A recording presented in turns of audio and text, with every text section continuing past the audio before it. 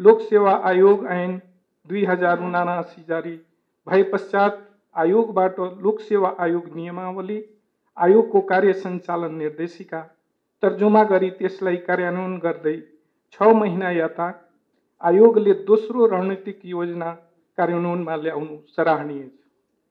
आयोगका पदाधिकारीहरू एवं भद्र महिला तथा सजन आयोगले सङ्घीयता अनुरूप समावेशी समूहतर्फ उम्मेदवार छनौट प्रक्रियालाई समय सापेक्ष परिष्कृत गर्दै, यी समूहबाट थप उम्मेदवार सफल हुन सक्ने गरी कार्य सम्पादन गर्न अति आवश्यक छ।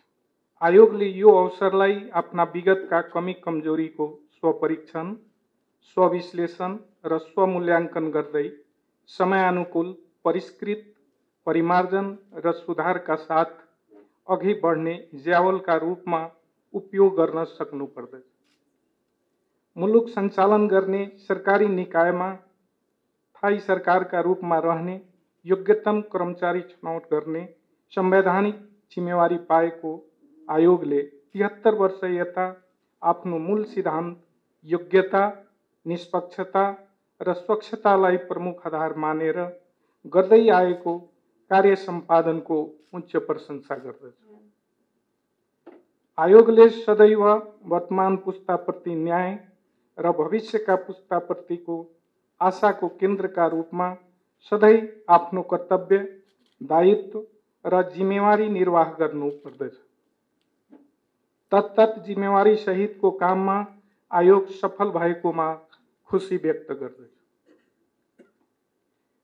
कर्मचारी भर्ना र छनौट समग्र प्रशासन संयन्त्रको जग भएकोले गलत भर्ना नीति र प्रक्रियाले प्रशासनिक सङ्गठनभित्र थाई खराबीहरू प्रवेश गर्न सक्ने भएकोले आयोग यसप्रति सदैव सचेत र सावधान हुन जरुरी छ। आयोग योग्यताका सबै तत्त्वहरू पूर्वानुमेयता हुने गरी आफ्नो परीक्षण विधिहरूमा समय सापेक्ष सुधार र परिष्कृत गर्दै अघि बढ्नु सकारात्मक छ। यसले योग्यताको धरातलमा अवलम्बन गरिने सुधारहरू, उच्च नैतिकवान र उत्प्रेरित कर्मचारीको छनौटमा टेवा पनि पुगेको छ। मुलुकमा सुशासन कायम गर्ने, यो मूल मर्मसहितको आफ्नो मार्गमा किञ्चित विचलित हुनु हुँदैन। साथै सुशासन, समग्र सिद्धान्त, व्यवहार र आम नागरिकले अनुभूति गर्ने विषय समेत भएकोले यसलाई नारामा मात्रै सीमित राखिनु हुँदैन। आयोगले गर्ने भर्ना छनौटको उद्देश्य वर्तमान परिवेशले सिर्जित समस्या र चुनौतीहरूको सामना गर्न सक्ने, सबै खाले परिवर्तनलाई कुशल व्यवस्थापन गर्न सक्ने, दक्ष, सक्षम र उत्कृष्ट जनशक्ति सरकारी सेवामा प्रवेश आजको आवश्यकता।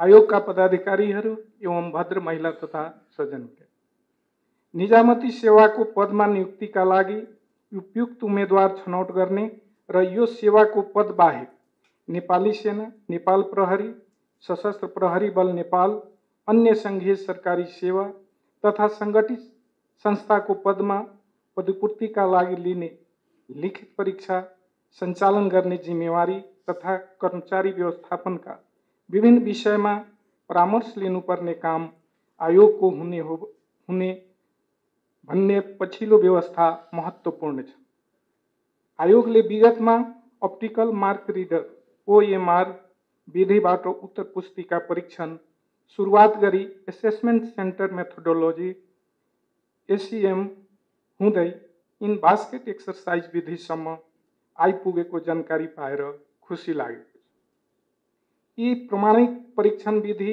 र प्रविधिबाट सक्षम उम्मेदवारको सिफारिस हुनु सकारात्मक त छँदैछ। नेपालको संविधान, ऐन र कानुनको परिधिभित्र रही।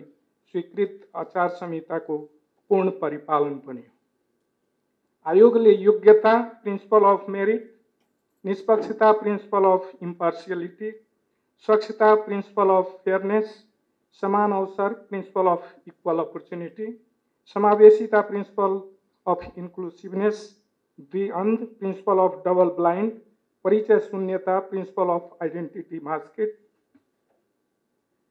असंलग्नता प्रिंसिपल अफ नन इन्भल्भमेंट तथा गोपनीयता प्रिंसिपल अफ सिक्रेसी को सिद्धांत अनुसार कार्य सम्पादन गर्नु प्रशंसनीय छ। यी सिद्धान्तहरूले आयोगको कामप्रतिको जनविश्वास पनि बढाएको छ। यसलाई कायम राख्न नितान्त जरुरी छ। मुलुकमा संघीयता कार्यान्वयनपछि लोकसेवा आयोग ऐन दुई हज़ार उनासी जारी भए पश्चात आयोगबाट लोकसेवा आयोग नियमावली आयोगको कार्य सञ्चालन निर्देशिका तर्जुमा गरी त्यसलाई कार्यान्वयन गर्दै छ महिना यता आयोगले दोस्रो रणनीतिक योजना कार्यान्वयनमा ल्याउनु सराहनीय छ। आयोगका पदाधिकारीहरू एवं भद्र महिला तथा सजन। आयोगले संघीयता अनुरूप समावेशी समूहतर्फ उम्मेदवार छनौट प्रक्रियालाई समय सापेक्ष परिष्कृत गर्दै यी समूहबाट थप उम्मेदवार सफल हुन सक्ने गरी कार्य सम्पादन गर्न अति आवश्यक छ।